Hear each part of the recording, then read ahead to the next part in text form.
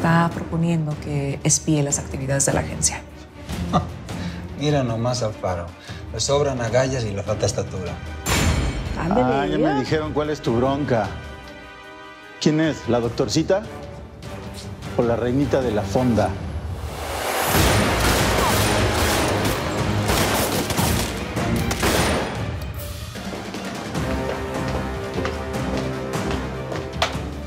¿Qué te pasa? Parece que he visto un fantasma.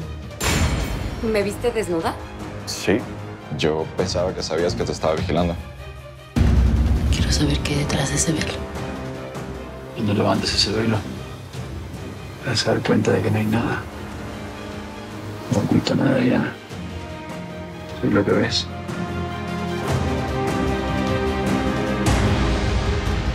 Le quité a sus padres. No diga eso. Eso fue un accidente. ¡No! Fue un atentado. Y yo el autor. Hola. Estoy la de la fonda. ¿Y qué está haciendo aquí?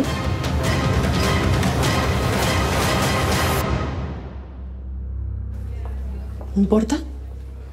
¿Y sí? ¿Sí soy la de la fonda? Mm, No, nada más preguntaba. Igual esto es un hospital público, ¿no? Claro, Sí, es un claro. hospital público. Venimos a ver a una tía. ¿Contenta? Me imagino que usted está detrás de algún criminal. Hola, gente. Sí. Estábamos en medio de una conversación. Sí, señor. Sí. Su jefe. Mercedes de la Cruz. Aquí la gente ha ido a comer a mi fonda. Cuando guste, es bienvenido. Gracias.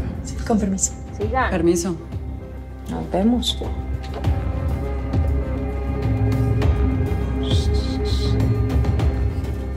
Castillo. Usted nunca suelta un hueso. No sé cómo lo sacaron de la Secretaría de Seguridad Pública. Una renuncia voluntaria, luego. Mm, ya. A ver, ya vamos a salir de esto. ¿m? Si usted no tiene nada que ver con que Corina se esté muriendo en ese hospital, pues no tiene nada que ver y punto. ¿Y si sí qué? Me va a dar gusto meterme presa. ¿No? Me va a dar gusto que se haga justicia. Tengo que hablar con Manzano. A ver, te lo hemos dicho varias veces, Manzano. Dejó este caso en nuestras manos. Punto. No eres la única incómoda en todo esto. Estamos envueltos en muchos intereses, Dalila. Y nos tenemos que convertir en cómplices. Dalila, no somos una ONG de bienestar social. Los gobiernos se mueven por conveniencias. Y nosotros también, veo. Pero bueno, no creo que sea el objetivo de la DEA quitar y poner presidentes a conveniencia. Nuestro objetivo es hacer cumplir la ley en materia de drogas ilícitas en el mercado nacional e internacional. ¿Algún inconveniente con eso, Dalila?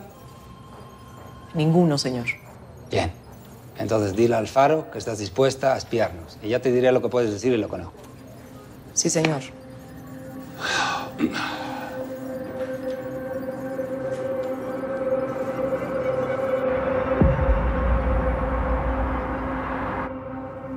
¿Qué pasó, amigo? A ver. Oye, justo estoy por entrar a una junta de mi conferencia de prensa de mañana y quería preguntarte, Alfaro, qué temas puedo tocar y cuáles no, sobre todo lo que tenga que ver con asuntos de la Secretaría de Seguridad Pública. Obviamente porque esto lo estoy haciendo para que veas que estoy respetando nuestros acuerdos, ¿me entiendes? Y obviamente para que quedes muy bien con el señor presidente. No me vengas con jaladas. Tú lo que quieres es que te siga cuidando las espaldas, ¿o no? A ver, espérate, ¿estás pedo, Alfaro? Poquito. Mira, tú nada más no hagas pancho y yo te apoyo. ¿eh? Pero pues apóyame tú con el presidente, háblale de mí. Justamente me acaba de dar unos zapes ahí frente a un gringo, fue muy humillante. y te ardiste por eso, ok. Yo iba a que me pusieran mi estrella en la frente, me pusieron mi estrella por detrás. Hazme un favor, deja de tomar, Alfaro, y vete a dormir, ¿sí? No quiero, estoy bien. Ay.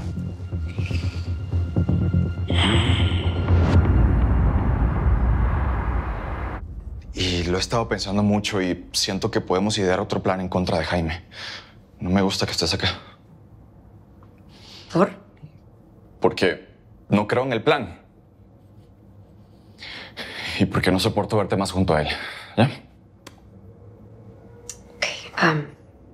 ¿Y tú piensas que yo me puedo quedar así súper tranquila después de que tú entras a mi cuarto y me dices todo esto?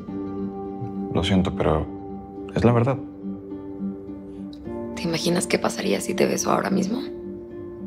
Yo creo que no podría parar. Y entonces sí, la esposa del gobernador tiene amorío con un operador del narco. Amorío. A las niñas ricas como tú les encanta meterse en la cama con alguien socialmente por abajo de ellas. Mm, niña rica. Así es como me ves. Eso eres. Una niña rica con una narcofamilia. Pero una niña bien cachonda que le gusta jugar con fuego. ¿Algo más que quieras agregar aparte de cachonda? No. Y mejor paramos esto. Pues yo quiero que me beses. ¿Cómo ves? Que no pensemos en nada más. No va a pasar. Cuando decidas parar toda la farsa que tienes acá con el maridito tuyo, me avisas. Y yo mando a abortar todo el operativo. Hay otras formas de hacer esto. ¿Estás celoso? Sí, sí, estoy celoso. Pero no solo eso. No me voy a prestar para ser el juguete de una niña rica.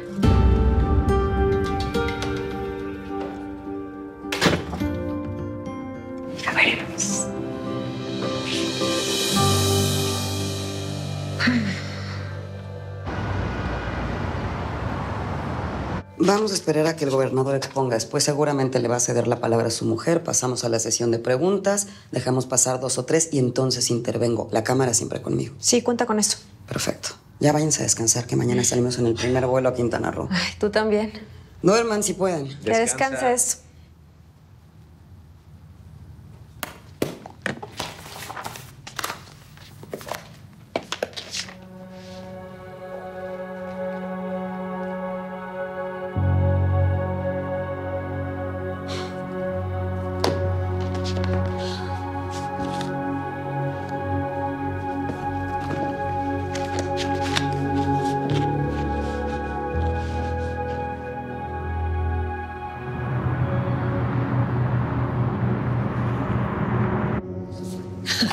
Como que esta es otra que libramos, socio.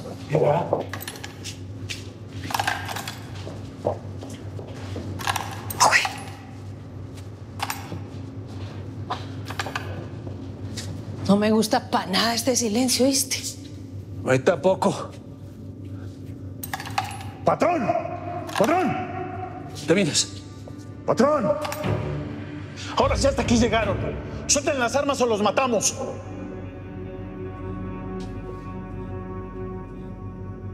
Aquí me tienes. Déjalo ir y negociamos tú y yo. No tengo nada que negociar contigo. Además, ¿quién eres? Te puedo dar lo que quieras.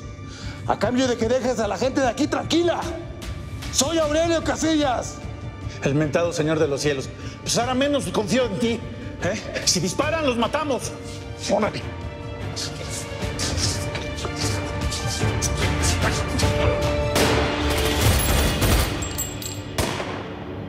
¡Vamos!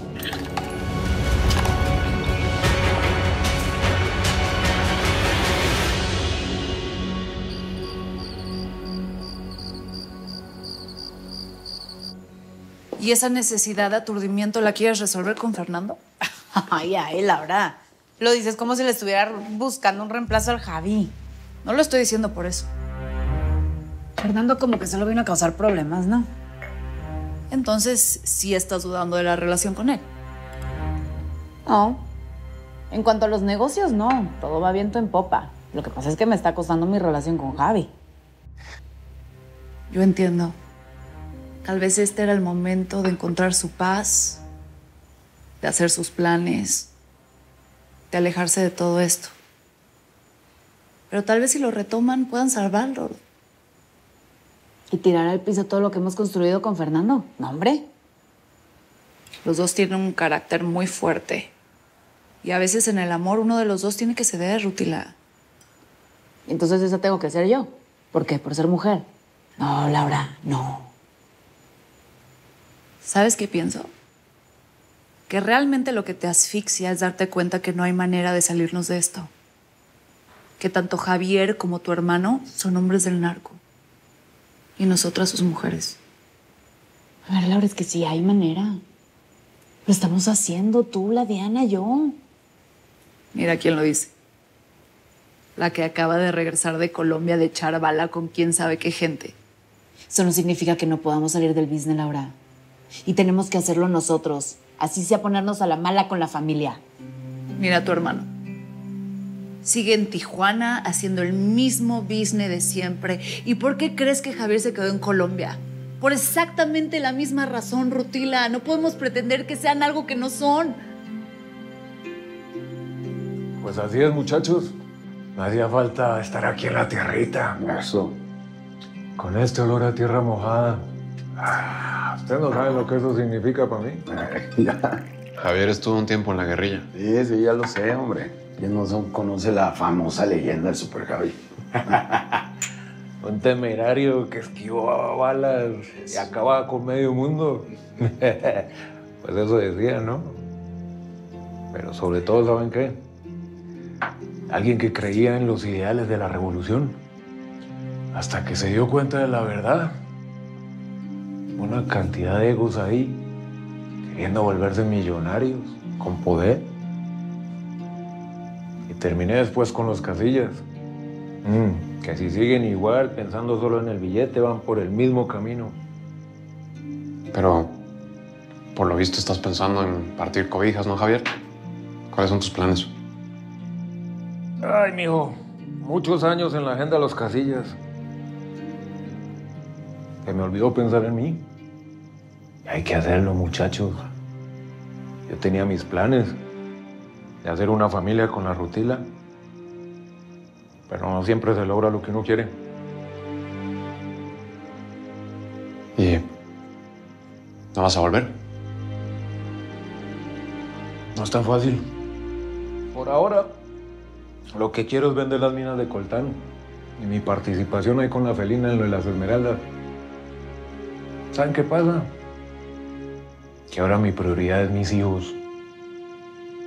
Ya luego veremos. Cuenta conmigo, Javier. No, no, pues también conmigo. ¿Le quedamos? Les agradece, vamos a brindar por eso. Eso sí les digo algo. No se preocupen.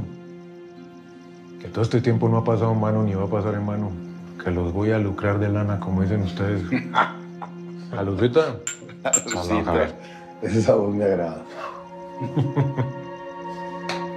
Vamos,